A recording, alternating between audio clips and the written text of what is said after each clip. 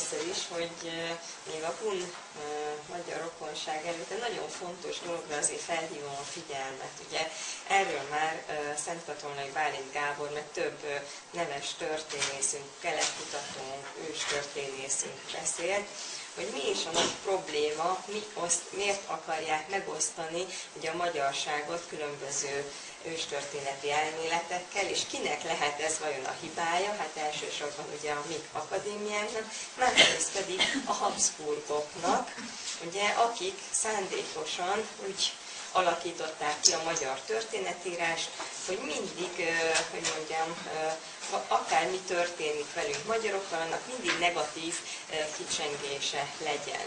Illetve ugye nagyon nagy probléma az, hogy mai napig míg ugye az a nyugati történetírás meghatározó nálunk is, mert nagyon sok országban, amelyet még a 19. század második felén találtak ki olyan íróasztal mellett ülő fogalmuk se volt a mi őseinkről, a szkítákról, a hunokról, nem tudták egyáltalán elképzelni, hogy kik is ők, hogyan alkotnak birodalmat, hogy élnek, hogyan vándorolnak, hogyan jönnek egyik helyről a másikra, ezért mindenféle elméleteket kitaláltak, ez volt ez a bizonyos népvándorlás, ugye mit tudunk, hogy ezek céltalanul össze-vissza kóboroltak, ide mentek ezer kilométereket, ötezer kilométereket, vágtáztak, hát valami ilyesmikről tudunk, nem? Akkor mindenki lerohant az egyik a másikat, akkor azok eltűntek a történelemből, és nem csoda, hogyha mindenki belegabolyodik, és a fiatalok is nagyon kevéssé akarnak ezzel a témával foglalkozni. Ráadásul ugye még jönnek, külön, jönnek különböző kutatók, akik pedig a különböző témákat, a mi rokonainkat úgy állítják be, mint hogyha azok egymással ellentétesek lennének, és ezek a különböző népek, akikkel mi rokonok vagyunk, azok különböző népcsoportokhoz tartoznának. Hát ezt lefordítom, hogy miről is van szó, ugye? Hát a mi történeti hagyományunk jóformán 19. század közepéig egységesen az volt, hogy mi a szkíták és a hunok utódai vagyunk.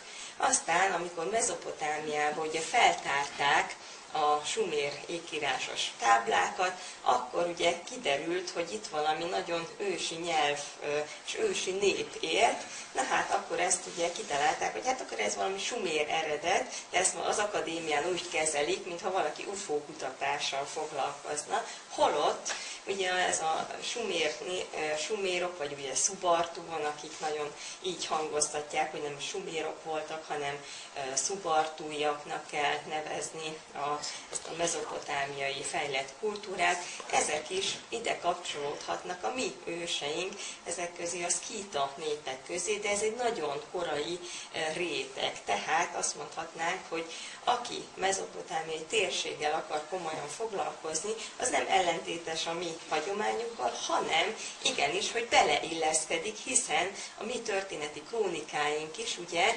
Mezopotámia északi részére vezetnek bennünket. Ugye le is írják, hogy Nimród és Nimród utódai, Hunor és Magor. Ja, persze. Tehát ugye ez az egyik réteg, aztán ugye nem régóta, miután Alineinek a könyve megjelent ugye magyarul is, akkor jött ugye ez az etruszk vonal, és ha, hát ugye már ezt is úgy kezelték, na hát akkor most már magyarok etruszkok akarnak lenni, hát ez is ugye úgy képzelhető el, ahogyan nagyon sok olasz, egyéb olasz kutató is, török kutatók, kazak kutatók szépen ezt mind leírták, hogy az etruszkok is szkíta népek voltak, akik ugye Kis-Ázsiából, ugye mai Törökország területéből, föl a trójai háború miatt elvándoroltak, és ugye letelepettek a mai Olaszország területén. Tehát ők is ugye szkíta népek közé tartoznak. Tehát nem ellentétesek ezek az elméletek. Az, hogy ugye pedig azt mondják a egyesek a genetika bizonyos eredményére hivatkozva, hogy őshonosok vagyunk, és hogy kikkel vagyunk kapcsolatban, hát természetesen minden nép őshonos a maga területén, hiszen mindig is élt mindenhol valamilyen népcsoport, nem voltak olyan üres területek ezen a azon a hatalmas nagy sztyeppei részen, eh, ahol ugye a mi őseink tanyáztak, hiszen a mai Észak-Kína, az Ordosz terület, amit ugye emlegettünk, az egy termékeny, azt mondhatnánk paradicsom volt, csak ma már elsivatagosodott, de mindegyik terület, akár Kazasztánt nézzük, akár Közép-Ázsia egyes területeit, vagy épp ezt a mezopotámiai területet, itt már nagyon ősidők óta virágzó kultúrák vannak. Ez egy ilyen európai projekt igazából, ez, hogy, hogy akkor most csak az európai népeket vizsgáljuk, és akkor a magyarok legyenek európaiak, csak hát a genetikában éppen ugye mindig a lengyeleket, a bolgárokat, nem tudom én kiket nézik meg, akik ugyanúgy a mi rokonaink, szkíta e, és hun népek, és ki tudja mióta már ők itt éltek. Én próbáltam megnézni, hogy meddig lehet ezt követni, e, azt hiszem egy élet is kevés lenne, hogy minden leletet feltárjunk, de azt lehet mondani, hogy tényleg miel, mikor már e, most mennek vissza a történészek, régészek, ugye antropológusok az időbe, már a kő, új, új kőkor egyes szakaszaiban már ki lehet mutatni olyan régészeti kultúrákat, amelyek a mi rokonainknak tekinthető, és azt lehet látni, hogy talán az egész eurázsiai övezetben valami hatalmasan egységes műveltség létezett, és gondoljunk bele, hogy ennek mi vagyunk az egyik örökösei, és ugyanilyeneket lehet kimutatni, tehát a mi kultúránk nyomai vannak meg jóformán mindenhol, egészen a sárga tengerig. Ez megmondom, miért döbbenetes. Valaki lehet, hogy erre legyint, de csak véletlen.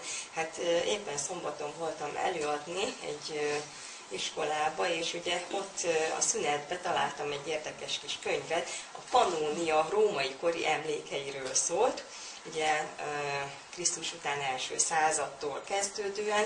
Hát ez a nagy fejlett és római birodalom, gondoljuk bele, ugye milyen kicsi a mi hatalmas nagy birodalmainkhoz, ott például nem alakult ki ilyen egységes műveltség, sőt azt lehet mondani, hogy Panóniában nem az, hogy ősi római kultuszokat találnának, hanem egyiptomi, meg a mitrász kultusz, ugye pont a pártusoknak a kultusza, tehát egy ilyen globalizált világgal találjuk magunkat szembe, tehát a rómaiak nem tudják, amikor kiterjesztik a birodalmukat, megvalósítani egy ilyen egységet, mint mi itt a, azt mondják, hogy ez térségben. Tehát ezért csodálatos, hogy ez ki tudja mióta megvan, és még reméljük, hogy e, ez meg is marad, legalábbis törekedjünk az arra, hogy megvalósítsuk, hogy ezt az ősi örökséget e, e, megőrizzük, és tényleg fantasztikus, amikor valaki elmegy akár merre kelet felé, és akkor a múzeumban ránéz, hogy jé, hát itt van egy matyóruha, jé, itt van ez a tárgyunk, ennek is, hát mi ismerjük az eredetét. Ez ezért van, mert ilyen nagy egységet tudtunk létrehozni. Ugye azon is nagyon sokan problémáznak, hogy akkor most hogy nevezzük ezeket a népeket. Hát hallottunk ilyen szítákról, szakákról, a szklavinokat azért mondtam, az egy külön téma lenne, ugye itt a Kárpát-medence népeit hogy is nevezték el, meg hogyan ferdítették el a fordításba.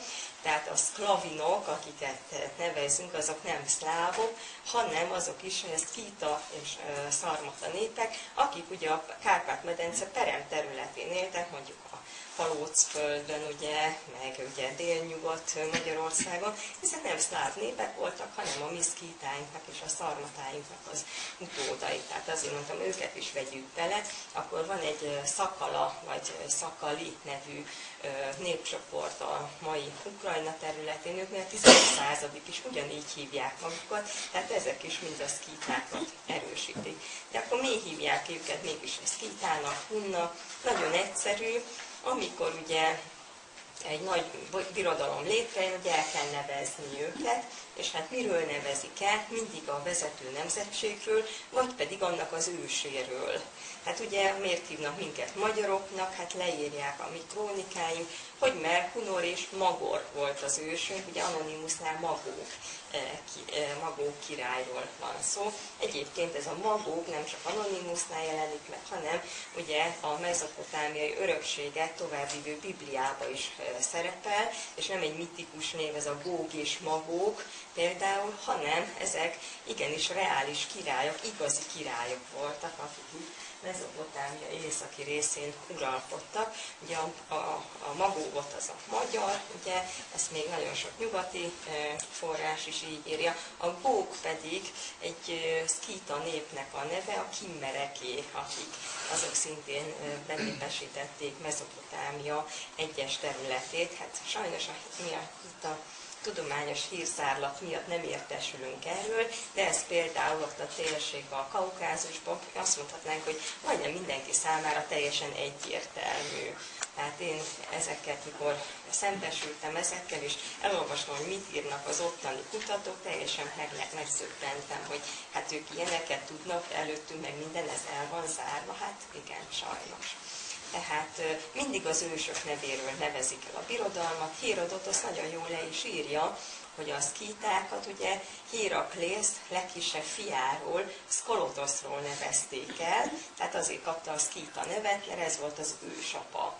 Ugye Hunor, ugye nem csak a mi krónikáinkban szerepel, hanem a kínai krónikákban is, ott is az egyik ősi dinasztiának a neve, úgy hívják, vagy úgy írják át, és úgy ejtik, hogy Hunyün, vagy Szünnyün, de hát a régi kiejtés egy német kutató szerint Hunor volt, és a Krisztus előtt 18. században uralkodott Észak-Kínába, az Ordosz vidékén. De hát ugye például az avarokról is mit tudunk, arról pedig a bizánciak leírják, hogy korábban hunok voltak, csak az egyik vezetőiről, vezetőiről nevezték el avarnak őket. De hát mehetünk, mehetünk sorba, végig elemezhetnénk az összes nevet, de hát gondoljunk bele, hogy mi hívjuk a, a oszmán törököket oszmánnak, mert az egyik ősüket nevezték így. Tehát nagyon pofon egyszerű, azt mondhatnám, de miért van az, hogy ennyi elméletet kitaláltak, hogy avarok léteztek, meg türkök? Hát ez megint a nyugati tudósoknak a szüleménye, mert ők nem tudták felfogni azt, hogy hogyan szerveződik a mi ősi birodalmaink, hogyan adjuk át egymásnak a stafétabotot, hogy akkor most mi erősödtünk meg, most mi egyesítünk benneteket békében, akkor most ti jöttök,